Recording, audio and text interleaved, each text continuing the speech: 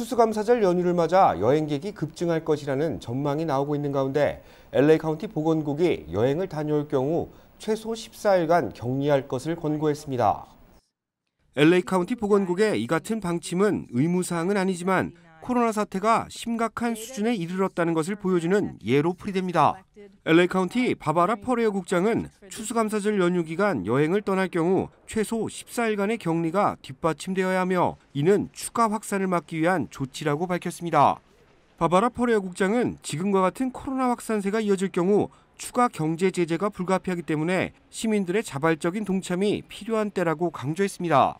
코로나 확산세에도 불구하고 이번 추수감사절 연휴 남가주에서만 380만 명, 전국에서는 5천만 명의 시민들이 여행을 떠날 것으로 전망되고 있습니다. 이는 지난해 같은 기간과 비교해 13%가량 감소한 수치지만 팬데믹 사태라는 상황을 고려했을 때 최악의 사태가 발생할 수 있는 기점이 될 수 있다는 경고도 나오고 있습니다. 한편 전국 자동차 클럽 트리플레이는 이번 추수감사절 여행객의 95% 상당이 항공기나 선박이 아닌 자동차를 타고 여행에 떠날 것으로 전망하고 있습니다.